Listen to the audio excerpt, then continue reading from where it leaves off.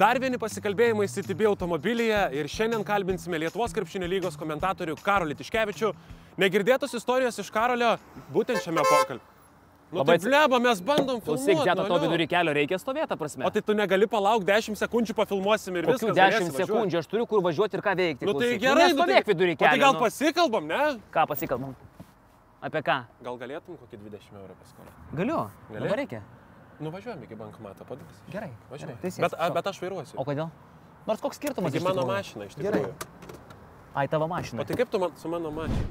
Oi, Karol, nu, kadangi šiek tiek apsipykom, tai gal susitaikom. Tikrai kažkaip. Nu, susitaikom, nu, žinai, ant širdies. Nemaloniai gavosi. Negera važinėti, žinai. Gerai, Karoli, tai gal ir pradėkim nuo to, daug veiklų turi ir renginių vedėjas, ir, ir komentatorius, ir žurnalistas. Kaip tu save kitiems pristatai? Kas tau atrodo, kad geriausiai sekasi šiai dienai? Tai kad niekad nepristatau kaip renginių vedėjo. Nes man tas renginių vedėjas, tai turbūt kaip ir tau asocijuojasi su tokiu durneliu, kuris nieko realiai neveikia, tik tai, kad dirbtinai šypsosi, klikauja ir ten rankom musikuoja, žinai.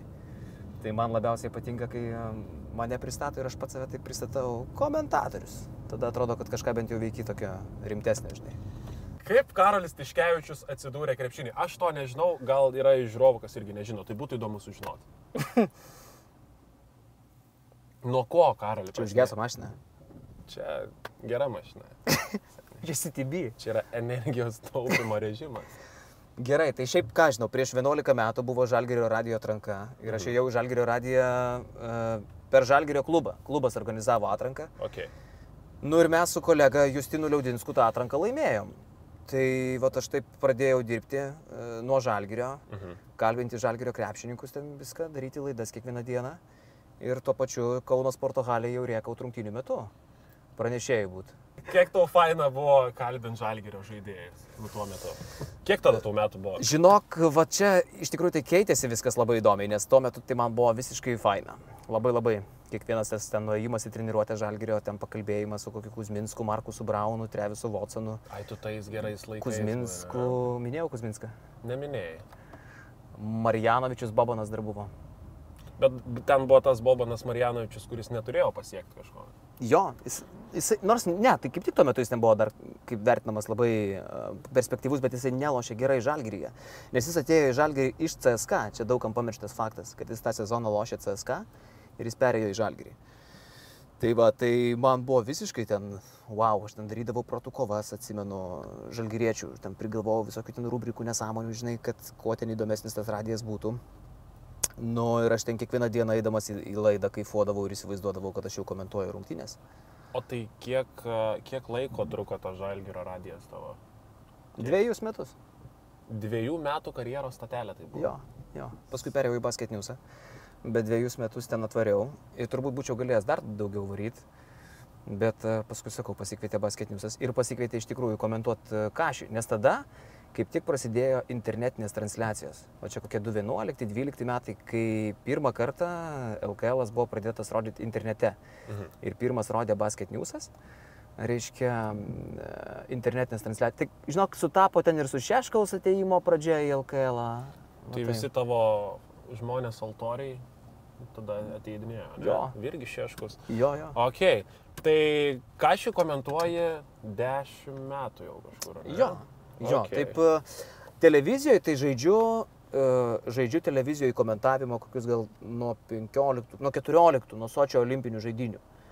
Tai va taip. O, o šiaip jo, su internetu būtų gal 10 metų. Karoli, ką tau pasiūlė Jonas Miklovas? Tai dvi štukas litų. Dvištukas lietų. Ką tu turėjai daryti tada? Ką tu pasiūlė? E, Straipsnis rašyti? Jisai mane kvietė į kitą radiją. Aš ėjau vesti Basket News radiją Mhm. per Extra FM. Buvo tokia radio stotis Ok. ir yra dar. Ir tuo pačiu metu aš ten komentuodavau internetinės transliacijas. Okay. Va, tai toksai buvo. Kas buvo tau sunkiausia kaip žurnalistui karjeros pradžioje? Man labai keista, kad tu mane vadini žurnalistu, nes aš tokių niekada nebuvau. Nors šiaip aš tuo metu derinau studijas su Basket News. Tai vad sunkiausia turbūt tas ir buvo, Mhm. nes aš studijavau Kaune viešą komunikaciją VDU. Ir aš galvojau, kad Čia ta man profesija, pavyks kur suderinti jo. daugiausiai bedarbių būna. Taip, taip. Ir tiesą sakant, tai aš du kartus e, studijavau VDU, baigiau pirmą kursą, padariau pertrauką, tada antrą kursą ir vėl baigiau reikalus. Ir viskas dėl basket news'o. Nes pradėjau dirbti tokiu dideliu tempu ir gavosi, kad aš nu, niekaip nesuderinau, žinai. Jo. Tai va, sunkiausia, ką aš žinau, man žinok visą laiką sunkiausia būdavo gyvenime atsipalaiduoti, e, daryti dalykus be jaudulio. Nes, nu kaip čia pasakyti, jaudulys tai jisai nėra blogai, bet panika pas mane būdavo. Aš visą laiką panikuodavau. Ar tai komentavimas, ar tai radijas, aš toks e, visas susi, susigrūzinęs ir aš negaliu paskui blaiviai mąstyti, suprasti, ką aš noriu pasakyti. Vis tiek turi rungtynes, ar ne, kaip sporto komentatorius, nevadinsiu tave žurnalistu, kaip ir prašėjai, turi rungtynes kaip komentatorius, kurios tau yra iki dabar prisimenamos ir labai, žinai, ne taip, kad prisimeni pačias rungtynės, bet prisimeni kiekvieną akimirką, kai jas komentavai, gal ten, nežinau, labai gribavai, gal kažkas yra nutikę, ar turi tokias rungtynės? Žinok, prisimenu labai gerai Lietuvos rytą, dar kai Lietuvos ryto televizijoje komentavau rungtynės. Ir rytas buvo nusipirkęs eterio tik tiek, kiek trunka 40 minučių krepšinio. ir lošė su Alba.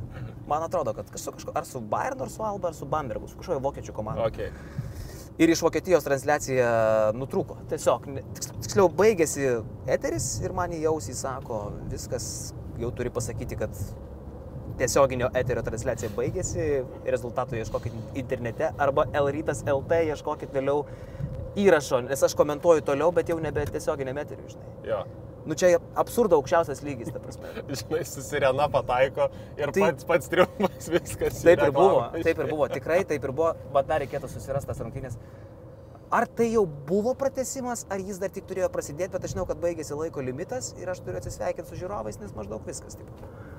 Tai va šitą tikrai atsimenu. O šiaip visą kitką, žinai, e, labai pasidaro kažkur matyta, kažkur jau daryta, kažkur jau komentuota. E, Tie patys epizodai, žinai, kai anksčiau labai labai rėkdavai po kiekvieno ten kažkokio, tai paskui jauti kaip vis mažiau, mažiau, mažiau, mažiau rėki. Tai nežinau. Plus turbūt, kad, žinok, labai gali būti, kad aš nesu tokių labai didelių rungtynių net ir komentavęs. Aš pagaunu save, kad aš, aš niekada nekomentavau Eurolygos televizijoje. Tai vad mano, žinai, kitas klausimas ir turėjo būti, koks tas kitas žingsnis, ko tu labiausiai norėtum rinktinę, ar tu norėtum Mm. Eurolygą. Nu, aš dažnai e, girdžiu klausimą, žinai, ar tu vat, norėtum komentuoti Eurolygą. Ir aš manau, kad jeigu aš norėčiau, tai turbūt, kad ir galėčiau. Nu, greičiausiai, kad jeigu aplikuočiau ten į kokią nors darbo poziciją kanaluose, kurie turi Eurolygą, Taip. tai didelė tikimybė, kad mane ten priimtų, nes, nu, turbūt, kad nėra labai jau ten šimtai tų komentatorių. Jų yra 10-15, bet įsibarsto per televizijas ir ten jų visą laiką reikia. Tai, bet aš tiesą sakant, net neturiu tokio super didelio noro e, komentuoti šiaip Eurolygos rungtynės, komentuoti žalgyrį, aš manau, kad būtų labai sudėtinga, nes A, tame kanale, kur yra Višniauskas, tai yra Višniauskas ir jisai yra be konkurencijos geriausias komentatorius Lietuvoje. Aš labai dažnai sakau, kad, žinai, Lietuvoje krepšinio supratimo per pastarąjį penkmetį keitė du žmonės. Tai Jasikevičius ir Rytis Višniauskas. Nors jis labai bėga nuo šito mano, ką aš čia šneku, bet... Bet skuklina šiek tiek, ne? Jo, bet aš manau, kad tai yra teisybė, žinau, kad Jaska keitė spaudos konferencijose labai suvokimą, kaip viskas vyksta čia iš tikrųjų, tą gilino žurnalistų sampratą. Aš manau, jis gilino ne tik žurnalistų sampratą, jis gilino krepšinio žiūrovo sampratą, ką reiškia komandos palaikymą, žinai. Viską jisai keitė, jo. O Višniukas keitė komentatorių labai e, supratimą, apie ką reikia kalbėti. E, kur kampai, ne tik tai, kad per romantinę pusę galėjai eiti, bet galėjai eiti ir per tokius tikslesnius dalykus. Ir realiai tik su Višniuku prasidėjo tie komentatorių jau tokie aiškesni pastebėjimai apie ne tik tai, kaip čia viskas gražiai vyko, bet ir kas čia konkrečiai atsitiko, žinai. Tai va, tai, tai jo aš ten nepakeičiau ir nekeisiu, o LRT, jo aš manau, kad aš galėčiau, bet vėl šitam darbe visada yra daug labai politikos. Taip. Labai daug politikos. Ir tu dažnai gali būti geras arba pakankamai geras dirbti kažkurį darbą, bet tu arba nepatinki ten tam vadovui, arba tu tenai nenorėtum būti, arba tu dėl, dėl šiaip kažkokių priežasčių tiesiog nesurastum bendros kalbos su kažkuo, su kuo reikėtų ją surasti, norint tą darbą dirbti. Tai tiesą sakant, man yra labai gerai LKL. -e. Aš čia jaučiuosi visai mylimas ir visai mylintis ir ką, ir ką man čia keisti. Jo, tu mylimas iš tikrųjų LKL, esi galiu paliudyti kaip kolektyvo narys LKL, kad Karolis tikrai saliginai kartais yra mylimas.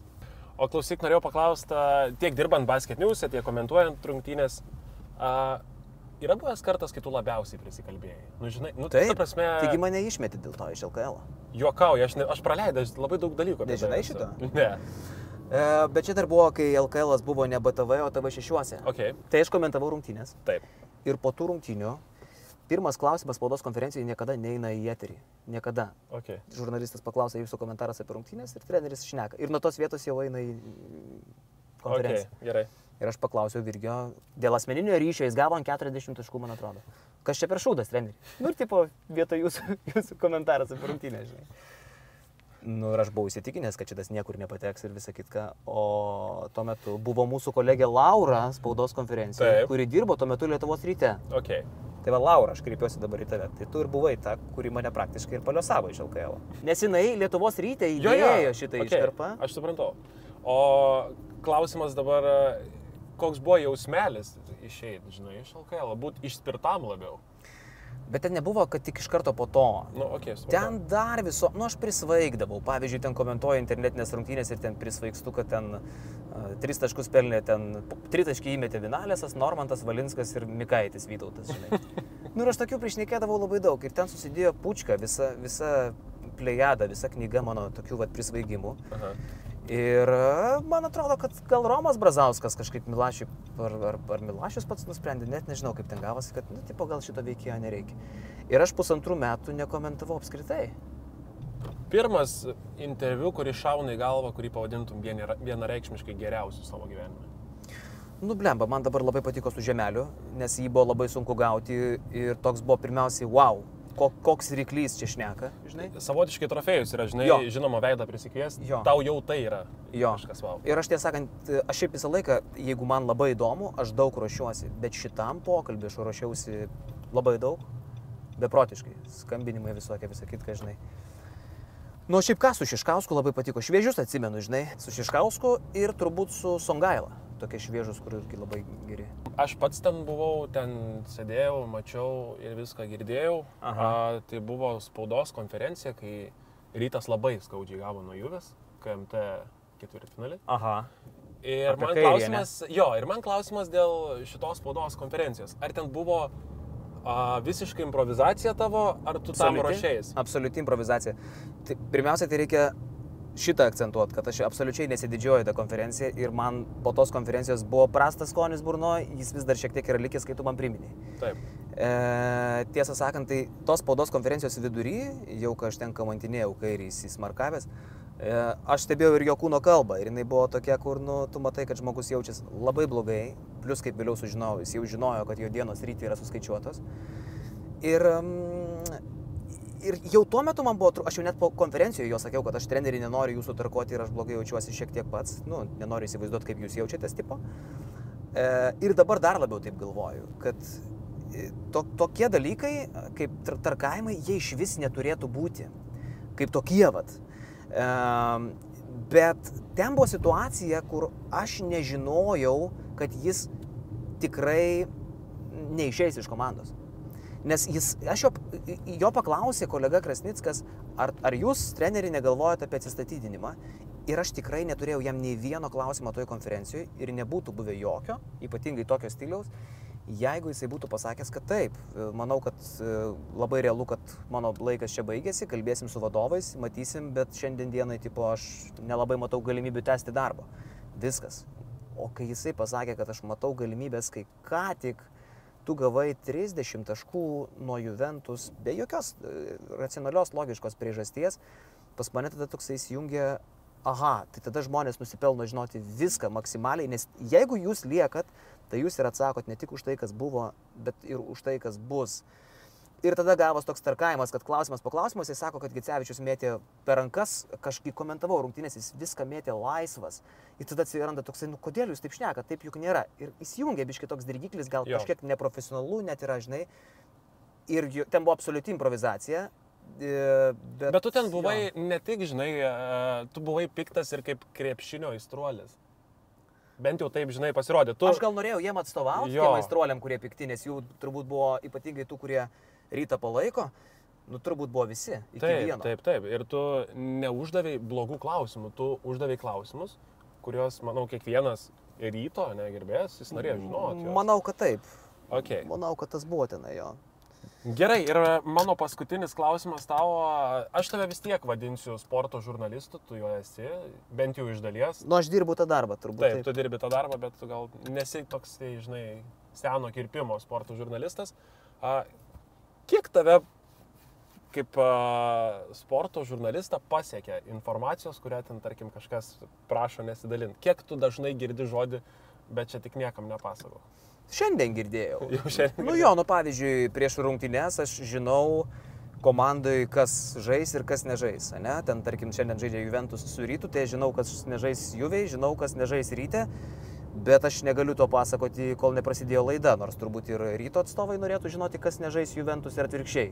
Jie galbūt labai norėdami ir patys įsiaiškintų, bet teoriškai, kai aš su jais kalbuosi, aš kartais išgirstu klausimą. Nu gerai, aš tau pasakysiu, kas pas mus, o kas pas juos. Aš negaliu to sakyti, nes, nu, tokiu atveju aš tada tampu nebe savo informaciją renkantis, o kažkam, žinai. Jo, bet tu, uh, tu pasikalbė su žaidėjais prieš rungtynės, tu pasikalbė su treneriais, su vadovais jo, komandos. jo, jo, jo, visada. Supratau. Tai čia tokios rungtyninės žinai, žinios, nu, o šiaip tai labai dažnai tu žinai ten, kas kada kur ką gėrė, kas ką darė, kas kur. Bet man tas ir įdomiausia, žinai, iš kur tai pas tave ateina. Iš krepšininkų. A, nu. Iš krepšininkų visą laiką. Nes vis tiek yra tarp jų, su kuriais tu bendrauji. Bet sakau, tiek, kiek mes, pavyzdžiui, basket news podcast'e sakom, jis jau skamba labai atviras. Taip. Bet mes, aš galvoju, ten pasakom kokį ketvirtadalį. Tada dar patronų podcast'e gal dar truputį daugiau. Bet jau nereklamuoju patronų, bet jo. šiaip tik tai pačiai ir, sakau. bet jau ir tiek užtenka. Libanas. Ar įdomu čia tau? Man tai gerai buvo, labai gerai. Ir a, manau, kad tai buvo pokalbiai CTB automobilyje. CTB automobilyje, kurį spėjo pavairuoti ir Karolis Tiškevičius. Karoliui ar patiko? Gera mašina šiaip. Šiaip gera mašina. Žinai, kas vat su ja yra fainai? E, labai gera mašina. Man a, fainiausia, kad tai yra gera mašina. Aišku, jinai- yra dar niuansas, kad nu, labai gera mašina. Tai ačiū Jums labai. Ačiū tau, Karoliui. Ne, tai tau ačiū. Buvo malonu tikrai pasikalbėti.